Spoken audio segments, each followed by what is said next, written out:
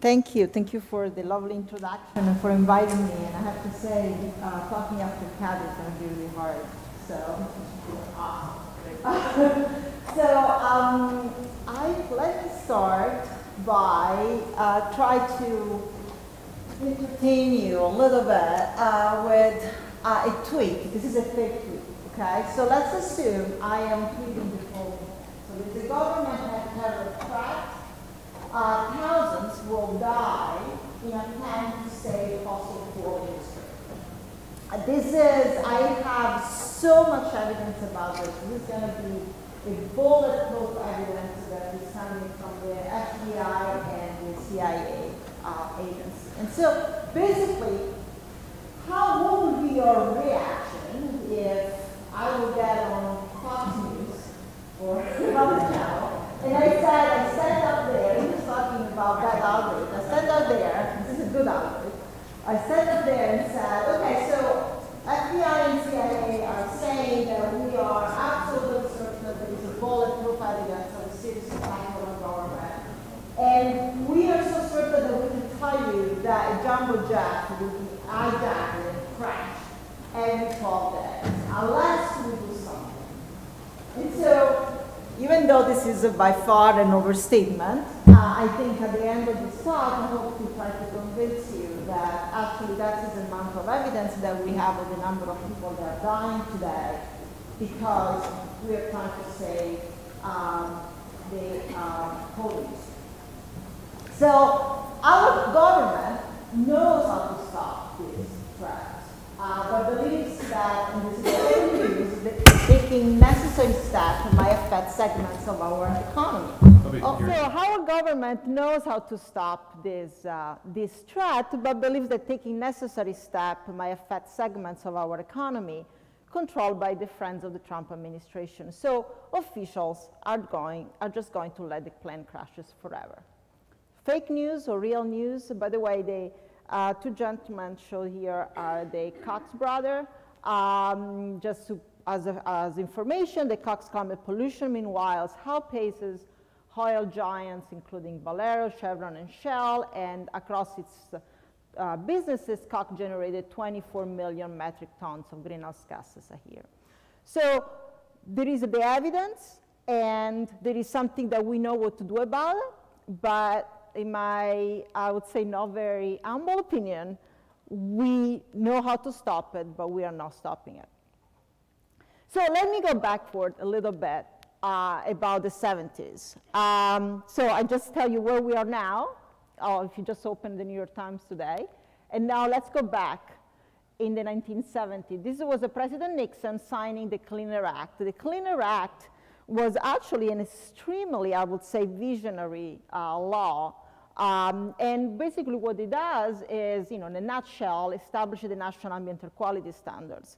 These are safe level of uh, air pollution that we're allowed to breathe.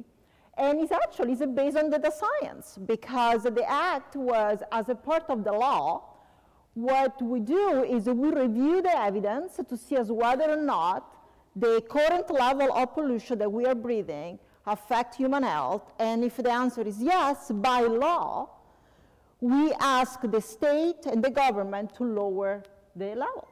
And so, uh, you see, data science actually, in this context, of course, is much more than data science, but it worked.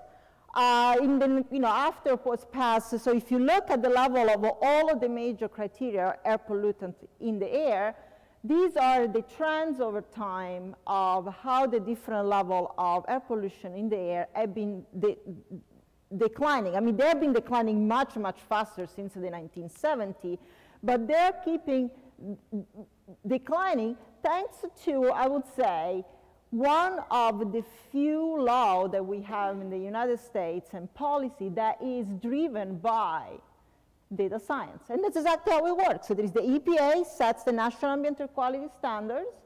There are studies that are done all around the world. The EPA review the epidemiological evidence, and if the epidemiological evidence said the current standards are not safe, they put uh, intervention in place, and, and the level keep going, uh, keep going down. There is absolutely no doubt um, from EPA analysis that the uh, Clean Air Act is cost effective. Uh, I'm not going to go into that, that's not even my field, but I think there is a pretty much undeniable evidence that if you take the number of health outcomes and the health benefit that we all get compared to the additional expenses uh, due to regulation, there is uh, a cost-benefit uh, ratio of several, uh, several billion dollars. And one thing to think about is in the context of breathing air pollution, you have to think that it's not something like you know, smoking a cigarette or eating unhealthy food. It's something that, well, for sure everyone is breathing. you have to breathe. My grandmother mother used to say, well, it's a better than an alternative. But also that you can choose whether or not you want to breathe polluted air or not polluted air, right? So, and it's also, it's something that should be allowed for everyone regardless of your socioeconomic status or where you are. And so this is where we are today. This is actually a real news where the EPA is announcing to repeal the, uh, one of the major uh, Obama air carbon emission rules. And by the way, for people that are not familiar, uh, Obama passed the law few, a few years ago was really to cut greenhouse gases emission from power plants. Um, and uh, most of the sources of ambient pollution comes from power plants, especially from coal uh, power, power plants. And so one of the information they use is a leaked draft of the repeal proposal asserts that the country will save 33 billion by not complying with the regulation and rejects the health benefits of the Obama administration as calculated from the original rule. Of course, no one knows where these numbers are, are coming from. So that's what I'm going, I'm going to tell you my data science story, and that's where we go back to the question of whether or not we should really use the best possible data and the best of our knowledge to make policy regulation in an area of serious controversy and actually attack um, toward the EPA and toward the, our, I think, right to breed, to breed um, human hair. So very recently, I led a team of my colleagues are all cited here that we worked on uh, this, this um, this paper, and I'll tell you why in a second why this is a data science story, but the key question here that we were asking is whether the levels of pollution that we are breathing to today are safe, even when they are below the safety standard. So I show you that, that trend, and I show you that the level of pollution are going down, and the question is, still, even if now we're much, much better than what we're supposed to do, are the current level of pollution that we're breathing today safe? And so um, what we did with this study was, I think, you know, I'm pretty confident, was a massive data exercise. And by data science exercise, I mean when you're thinking about a represented population or the unrepresented population, this is everybody. So basically we took the entire, um, well, 97% of the population in the United States older than 65 years old, and we can track them because in the United States, people that are older than 65, the great majority of them are enrolled into the Medicare system. So we know the day of entry, we know the age, we know the race, we know their zip code of residence. We have a lot of information about them, and we can follow them over time. And we constructed Going back to bulletproof evidence here, we constructed the cohort of everyone. There are 60 million enrollees followed over time and you know, at, at, the point of collecting 480 million uh, records. So the other piece that was always an attack to the previous epidemiological study was that air pollution is not monitored everywhere in the United States. I mean, in my opinion, is monitored actually pretty well, but again, it's not perfect. So this map shows where are located the air pollution monitors in the United States. And by the way, this is the air pollution data is publicly available, and the EPA actually has a beautiful website. That's where I grabbed the, uh, the, the map. Everyone can get to these, um, this data. You have the daily levels of all of the major pollutants in the United States in the last 20 years for all of these monitoring stations. But one of the problem is if you see, even though there are, there are several thousands monitors, there is a little problem here that you see that most of the monitors are in the area that are more populated. And the area that are more populated are also the area that have, tends to have pollution that are a little bit higher. So if we really want to ask the question whether or not the level, the lower level, are safe, we need to go beyond where the air pollution is, uh, is monitored. We need to go to other areas. So that's where I think in the context of an extremely controversial and a billion dollars question environmental policy, we actually started to rely and importantly increasingly rely on computer science. And so this is actually by no means I want to take any credit of this work. This was, was work of actually of the uh, lead author of this paper, Qian Di, who is a graduate student, who actually spent an entire year in the computer science de department at Harvard and had this great idea, which I'm sure people in computer science well, come on, we do this every day, right? So they basically what they did, they developed a neural network model for exposure prediction. So what happened is that in addition of data from monitoring station, we actually can have imprecise measures of pollution from satellite data. And satellite are actually available, satellite data are available everywhere.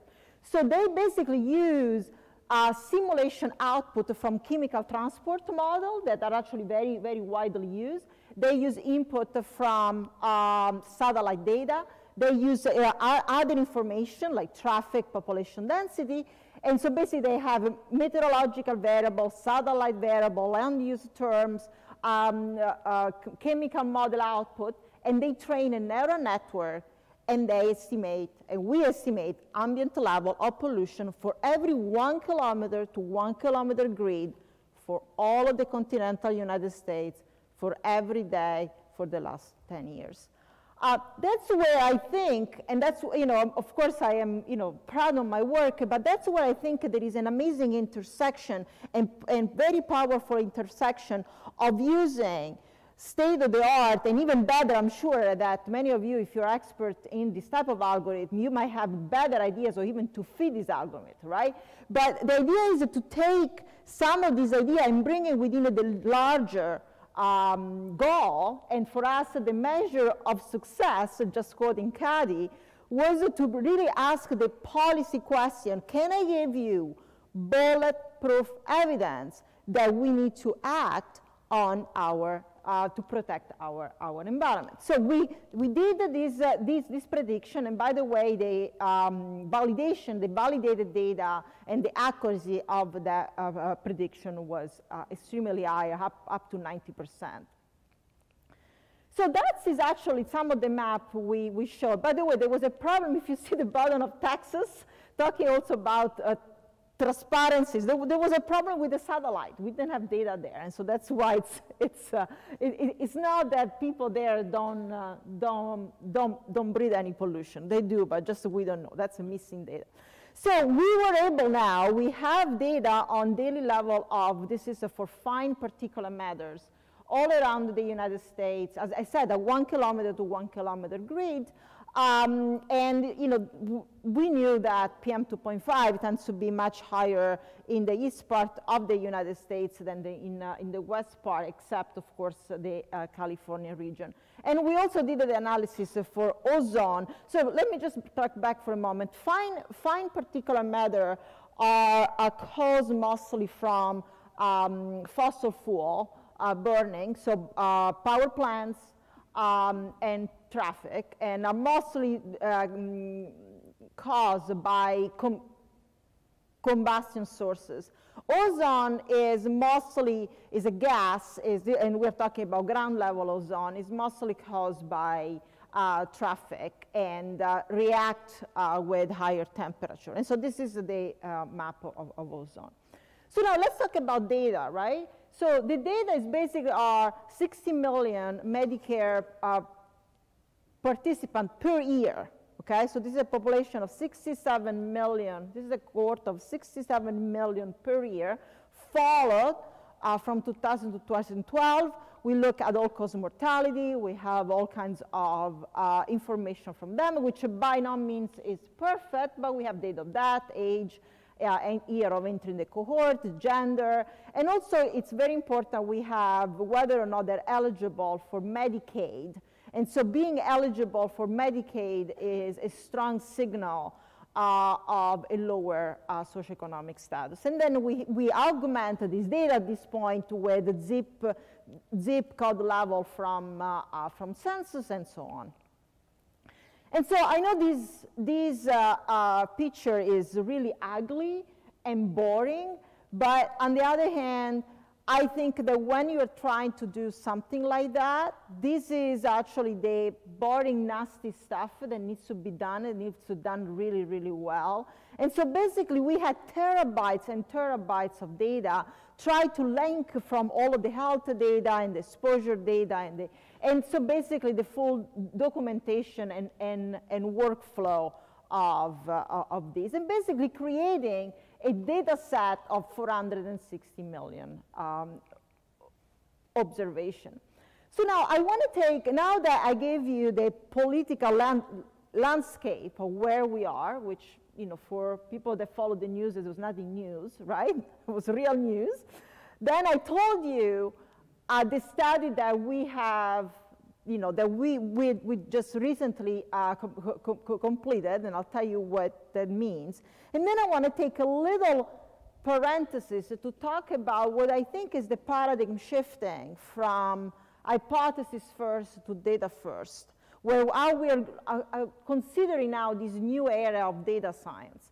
And there is nothing good or bad about it. It's just that I do think, and also, you know, participating to this, to, to, to the symposium today, I do think that this paradigm is really applying you know, in our data science area. So the paradigm shifting is that, you know, I just have there a picture of Fisher, who's a statistician, and the, the, the, the, famous couple of tea experiment. I don't know how many of you were, are, are, are um, familiar with this experiment. Basically was a lady that, that said, an English lady that said that she was able to recognize by drinking her tea whether it was first the tea and then the milk or first the milk and then the tea. But the, the point I want to make is on the left part, oops, on the left part of the slide, I think in the general paradigm of statistical inference, we're used to have a specific hypothesis, to conduct a control experiment,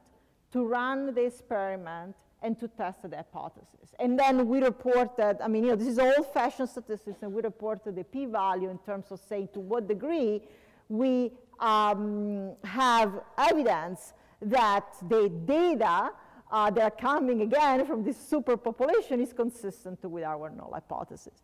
I think where we are right now, and for sure the world I'm living right now, it's going very far from from that. We are in the world of data science, and we are actually going from starting from an hypothesis to testing the hypothesis in the context of a very controlled experiment to actually be swamped by data and then thinking about extracting important rigorous information uh, from that, uh, that data. And this is important, at least for how I was seeing my own work, because there is nothing about a control experiment about what I've been doing. There is nothing about even sampling. I have the whole sample. and um, there is nothing about, you know, thinking to repeat this experiment. What, what does it mean? And so I think the, the point I'm going to make, which is actually is very familiar, is you know, we are in the data science really transitioning more from a control group, which is nice and very well governed in the context of running an experiment, to the out, to the out of control group. And I think we are very much, all of us, uh, out of control. And so this is my point here, is that, you know, is there anything that we can control so we can make inference about today's world? And so going back to my data science story, I am completely at loss in the context of environmental policy and data science and, and, and, environment to think about first a control experiment, to think about testing a specific hypothesis, to thinking about controlling. I can randomize 480 million people to breed uh, you know, polluted hair or clean hair. So I do think that an important paradigm and I think an important opportunity for data science is that really to be able to take the information that we have and get the best possible knowledge out of it. So let me go back to my data science story. So I do think that in general, and I, you know, I'm giving this example in the context of environmental policy, but I do believe, and I'm sure that, that you know, I'm preaching to the choir here, that not using the best possible data and best possible st statistical rigor to inform regulatory policy, but any other regulatory policy, is something that should concern us very deeply.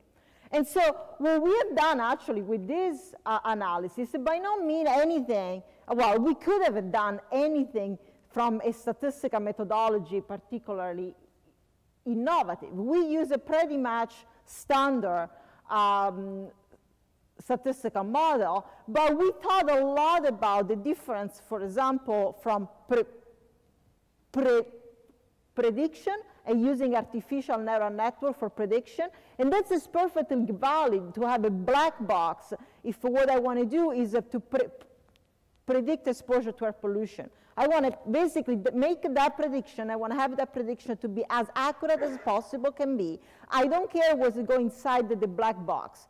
But now when I'm going to estimate the effects of pollution on human health, I need to have an interpretable model where I'm sure I can disentangle the effect of pollution from the, from the effect from all of the other variables. So anyway, we, you know, I don't think I'm going to spend much time about all of this statistical analysis, but I think it was pretty much bread and butter statistical analysis. So let me give you some sense about the, the data, right? So as I said, one thing that we were particularly interested in estimating the effects of pollution at level below the national ambient air quality standard. so for PM, PM 2.5, the current level of national, the current levels of the national ambient air quality standard is a 12 microgram per cubic meter. And the for ozone, actually for ozone there are really no standards, but what's considered a safety standard is a 50 um, part per billion. And so having such an enormous amount of data allowed us to actually have up to, uh, in the context of PM 2.5, 11 million people around the United States that are breathing level of pollution that are lower than the standard, and so they're considered to be, uh, to be safe. I'm sorry, so we have 32 million that breathe, that breathe pollution that lower than the standard, up to 11 million that, uh, that died. So here is where also one of the other differences between a standard, I will call it, a standard paradigm of testing an hypothesis, which is perfectly valid and great in the context of the experiment, and in dealing with big data and massive data science, is that you know, the, this p-value makes absolutely no sense here to report the p-value. We have a p-value actually up to the 22 decimal point was still less than 101, right? And so the confidence interval, and it was so funny actually for me that was after working on this paper for two years that I realized how tiny were these confidence interval at the point that the student asked me, why are we having a confidence interval? Confidence interval actually here makes absolutely no sense because I'm not sampling, it's everybody. All right, wait, it's 97% of the population. But you see also what, where I'm getting into is uh, it doesn't mean that these, these are correct. this could be all equally wrong with very, very tiny confidence interval. But the way that we quantify evidence, oh, sorry, not quantify evidence, uncertainty is very different. And so what, what we found, uh, unless the, none of these results are completely confounded, that even at levels well below the national ambient air quality standards, an increase of only one microgram per cubic meter in PM 2.5 is actually killing 12,000 senior citizens uh, each year. And so that's where I'm going back. That is equivalent. Of course, if I explain it to this table, no one will understand, but that's what I meant to where this is equivalent to a jumbo jet crashing every, uh, every 12, uh, 12 days. Now, we did additional analysis I thought that was, was considering, actually particularly interesting what was Scotty was saying, because when we estimated these health effects of pollution for different groups, uh, you know, uh, stratified by gender, socioeconomic status, and color, it was actually very interesting to see that people of color and blacks actually have a mortality risk associated with air pollution that was over uh, 3.5 higher than, uh, than the national average. So, um, and of course, you know, we, we actually, this is of course, but this is also important that we re report um, dose response curve. And actually with this type of data, uh, it's pretty interesting to see that there is actually no safe level, that these dose response curve are, um, are pretty, pretty linear. So the other interesting part about data science, and this is a data science story, which I was actually extremely surprised, is that the editors of the New England Journal of Medicine not only you know, themselves wrote a commentary, but they took a very strong political position against the Trump administration, which was actually, I was extremely surprised. This is not something that, well, first of all, this was a data science article, so uh, it's already surprising they got to the New England Journal of Medicine, but also the fact that we didn't do any we didn't make any political statement. We, we make policy statement, but they made a very strong political statement and said, in explaining his withdrawal from the Paris Climate Agreement, Trump stated, I was elected to represent the citizen of Pittsburgh. It's interesting it's mentioning Pittsburgh, not Paris. Uh, ironically, Pittsburgh is less than 30 miles from the Donora Smog Museum, where a sign reads, clean air started here. Without, with the report of Di et al., adding to the larger body of evidence indicating the risk of air pollution even at current standards, we, we must re, redo, redouble our commitment to clean air. If such protection lapses, Americans will suffer and we are doomed to repeat stories. Do we really want to breathe air that kill us? So that, that was the boring part of the story. Now let me tell you the fun part of the story. So now here is a data scientist, a group of nerds at Harvard. We want to test, you know, we really provide, want to provide evidence. As you can imagine, a type of commentary and a type of paper has created some, I give us some enemies. And so here is uh, Steve Milloy, who has a website, it's called Junk Science, who is basically, since, of, you know, as soon as in data science you are trying to make a statement that was going to impact the regulatory policy quite sub, sub, substantially, people will go after you. And so, uh, of course, not only after me, but after many of my, of, of my colleagues in terms of criticizing, uh, criticizing the work. So if you go on his website, he's basically accusing us of scientific misconduct and all kinds of other interesting things.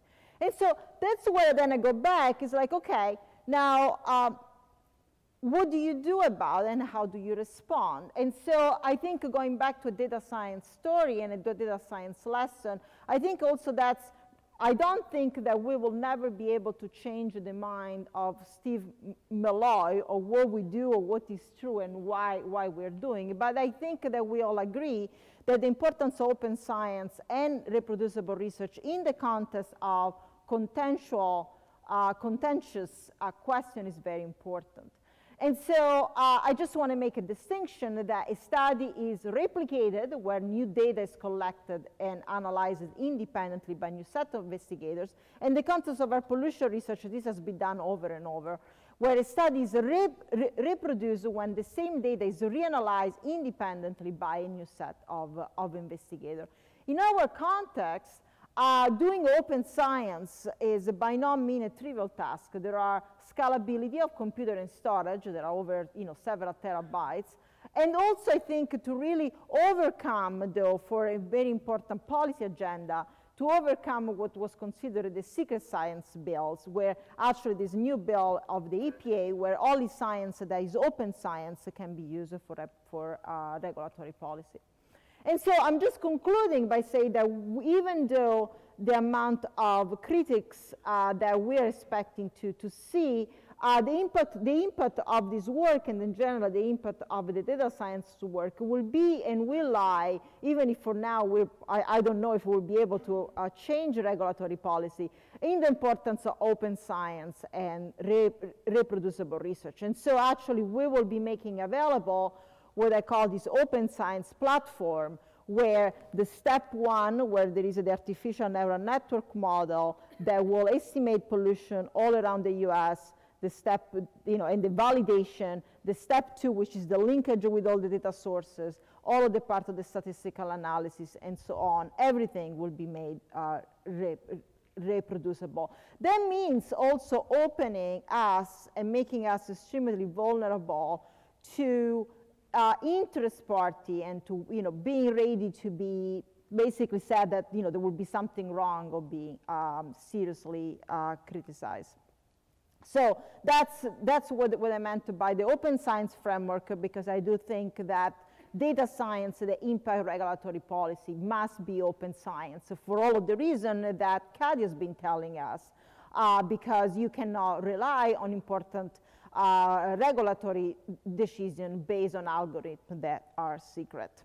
And so that is just uh, the, um, you know, a snapshot of the open science framework home. And so I just want to conclude with a quote, which is, in God we trust, all others must, um, must bring data. And, oh, I'm sorry, I, before I go to the question, I want to make sure I was looking for this slide.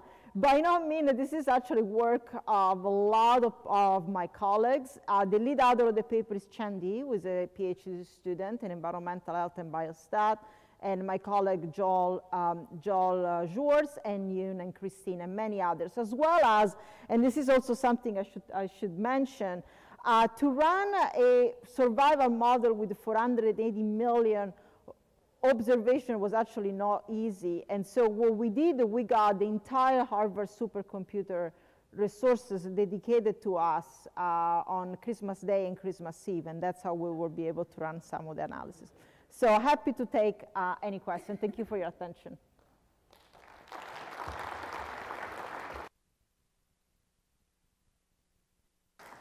Uh, we do have uh, time for um, any questions that might, uh, any, any audience members want to pose a question? Well, while, while we're waiting, I'll, I'll ask you a question, sure. just a, a general, um, just to get your um, your perspective, over the past uh, two or three years, there's been movements to um, either defund or replace many of the assets that uh, satellite weather uh, and remote sensing and so forth with uh, assets that are either uh, funded from private companies and therefore um, don't have necessarily the um, don't satisfy the same standards as, as yeah. public resources. Does that affect the, um, uh, the, the application of techniques, statistical techniques like, like you're discussing here, um, in the light of the fact that you no longer have a sort of a, a monolithic uh, um, network of, of sensors that's, um, uh, that, that is controlled by uh, yeah. you know, the public trust and yeah. as opposed to the private private industry. Yeah, yeah. No, I mean, yeah. Oh, sorry. now, now I remember there is a microphone.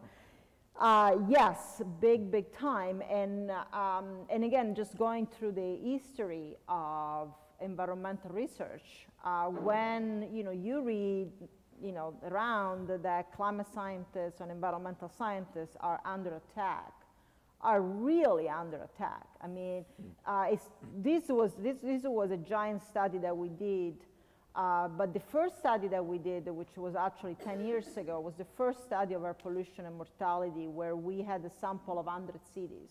And we used data from the National Center of Health Statistics. And there was a similar story. You know, it was a, what was actually was the study the impact uh, the, the first revision of the National Ambient Air Quality Standard. It was a New England Journal of Medicine, big deal. As a result of this sound evidence, they lowered the standard. And you know what happened? The year out, and I, we actually had open science plat platform. We had the data available. The following year, the National Center of Health Statistics declared the data are not available anymore. Mm. And they're not available to me, they're not available to anyone. They completely eliminated the availability of access to this data. Mm. And so uh, what's happened here, and that's what is the dangerous trend, that as a data scientist, and I think that's what I was trying to also communicate, that as you're going to do things that are more and more important, at the point they're going to impact multi-billion dollar industry, you might be, you know, facing this type of threat or actually actual, you know, reality where data gets made not available. And so mm-hmm. when Trump was elected, I mean, this is a very well known, there was a consortium of scientists, of data scientists around the US, that they all downloaded all the data from the EPA. We actually have all copies of all the data from the EPA on a secret server mm. Uh, because we're expecting that moving forward, less and less data will be available and some of the sensors will not be measured anymore. So, yeah, but that's, that, that's the reality we live. Yeah, concerning. Very concerning. So there's, a- there's a question here on the left. Yes. Uh, Your left, I guess, right? Yes, Uh, stage left, yes. All right. Uh, Thank you. You've done a wonderful job of gathering a lot of data, but part of me wonders if you really have enough. And I say this because what I see here is high correlation. I don't see causality.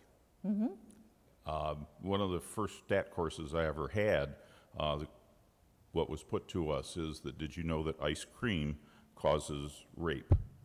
And we're like, what? What are you talking about? Well, we map out how you know, ice cream is consumed, and we notice that that tracks very closely with the incidence of rape. Well, you know, most people, I think, will look at it and say, no, ice cream does not cause rape. Here you've got pollution, and you've got high incidence of mortality, but I don't see that that shows causality, mm-hmm. okay? Now, I don't doubt that pollution is, is Yeah, bad. oh, of course, yeah. But I think, you know, looking, when you talked about the covariates, I don't see anything in there, you know, a rural environment, maybe there's less stress, maybe people are out walking in the meadows, I mean, I, you know, I don't know. So I think there's a challenge here in what you're presenting, if we want to talk about the pollution is it. And also in your own data, you showed that blacks three and a half times the incidence. Obviously, there's another set of factors there. Yeah. So I, that concerns me a little bit, uh, because you believe right off, it, it's very clear from the start of this, that you believe air pollution's a problem, boom, boom, boom, boom, boom, and that sets your framework. Uh, But, and you talk as if it's causality when what we're seeing right here is correlation. Yeah. I don't know, you got a Yeah, oh, response that? absolutely, no, but what, what you're talking about is the issue of confounding for, you know, in any context of an observational study. So, and I, I started and I wrote this talk in a very provocative manner for purposes. But so, I think that, you know, in the context of environmental health or in the context of climate change, in the context of many of these data science questions, you cannot do a randomized experiment, right? I can, right? We can, I can send you to breathe, you know. So, so uh, as soon as you're outside of a randomized control experiment, you got an observational study. And when you got an observational study, you have to do the best. You can never, ever, ever rule out confounding. So you have to do the best that we, ha- we can, right? And so um, I claim that, you know, my training and my area of expertise is on causal inference. And, and so we, you try to the best that you can to adjust for residual confounding. Now, I didn't have it, you know, all of the time to go through all of this, but you know, there were some, so they, this Medicare enrollees, the nice thing about the Medicare data and the nice thing, the nice thing about building this database over time is that you actually know all of the previous hospitalization that every enrollee has had in their lifetime. So you have actually pretty good information about their uh, comorbidity history we were able to estimate pollution at the zip code level. And so the, at the zip code level, you have 100 and 100 and 100 variable from census data. And then there was another cohort, which is a random sample of that cohort, where actually you have smoking information and so on. So you have to consider as these to be the first of you know, many investigation of a larger data science platform. Now, can you, all, can you completely rule out the confounding from this study?